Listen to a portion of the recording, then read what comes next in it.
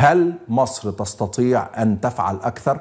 هل النظام المصري يمتلك أوراق ضغط؟ الحقيقة نعم وتحدثنا عنها منذ السابع من مايو بل منذ السابع من أكتوبر ولم يستمع إلينا أحد.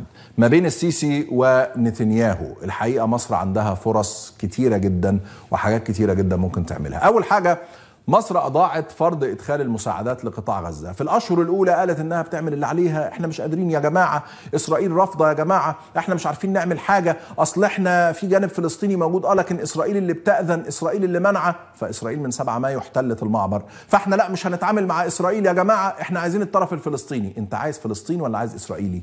ها المشكلة في إن في طرف فلسطيني وإسرائيل مش موافقة. طب إسرائيل موجودة وبتقول لك دخل مساعدات. لا أنا عايز الفلسطيني. أنت مش عايز تفرض إدخال المساعدات.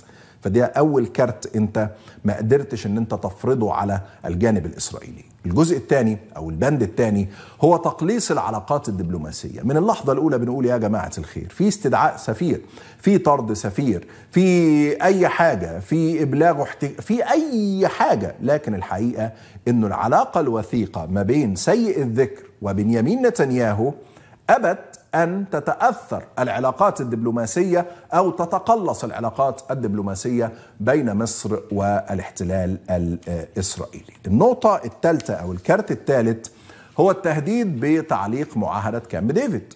من اللحظة الأولى ضياء رشوان وكل الناس خلي بالكم يا إسرائيل كامب ديفيد كامب ديفيد كامب ديفيد كامب ديفيد okay دخل بنيامين نتنياهو عمل إيه؟ قام داخل فيلادلفيا انتهك اتفاقيه السلام طلع لك لسانه الجنود بتاعه صوروا نفسهم وهم بيلعبوا وبيخمسوا بالدبابات دخل لك جامع على بعد 200 متر راح جندي يوم 5 يونيو قعد لك على الحدود بتاعتك وانت كامب ديفيد كامب ديفيد. طب هتعلق؟ لا إحنا انت عايزيننا نحارب؟ مش معقول. انت عايز مصر تحارب؟ يا عمي ما تحارب. يعني إيه المشكلة؟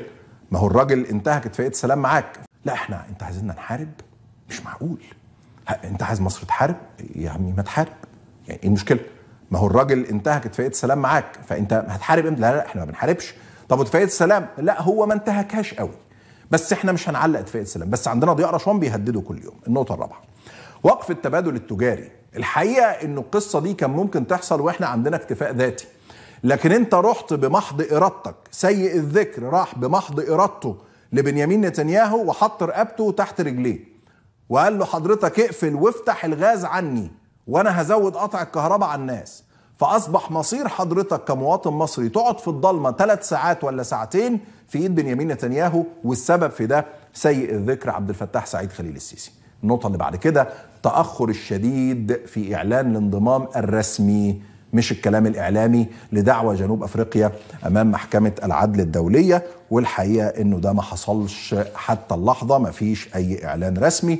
النقطة اللي بعد كده هي فتح المجال الشعبي للمصريين لمساندة أهالي غزة بل على العكس تماما سيء الذكر بيعتقل أي حد بيتكلم عن فلسطين في الجامعات على ال social media في أي مكان في ماتشات الكورة في أي حتة بيعتقل الجميع. أخيرا فتح معبر رفح. النظام المصري لم يفتح معبر رفح ولم يتعامل بورقة قوة كبيرة يمتلكها وكان بيستخدمها الرؤساء السابقين سواء مبارك أو محمد مرسي. لكن للأسف عبد الفتاح السيسي لم يستخدم لا هذه ولا تلك.